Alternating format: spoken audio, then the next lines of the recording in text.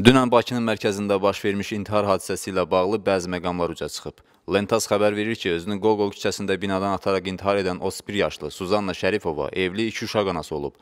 Lakin onun həyat yoldaşı ilə rəsmi nigahı olmayıb.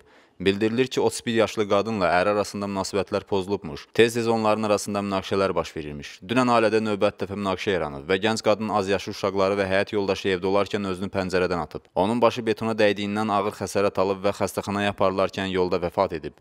Faktla bağlı araşdırmalar davam etdirilir.